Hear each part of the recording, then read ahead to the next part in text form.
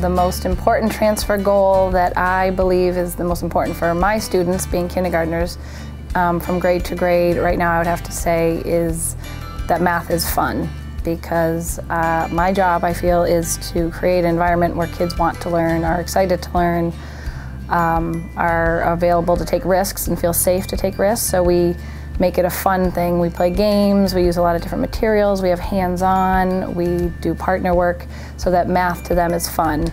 Um, so that they're excited when we use the word math that it seems like a fun activity they want to jump into. This transfer goal looks very busy in a kindergarten classroom because we are all working at the same time. We're all working in partners or in small groups, so there's a lot of conversation going on.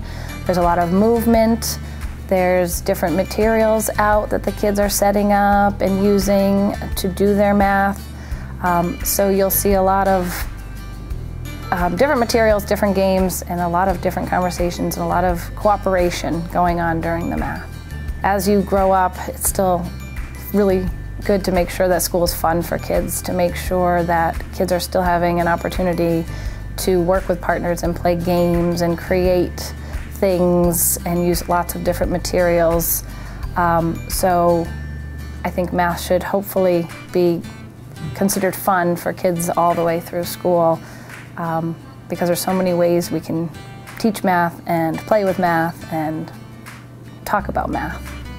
These kids are amazing and they're so much fun and it's so exciting to see these kids work through problems and grow, especially in kindergarten. I see such a difference from September to June in their independence, their confidence, their ability to cooperate in groups, how to formulate ideas and try ideas.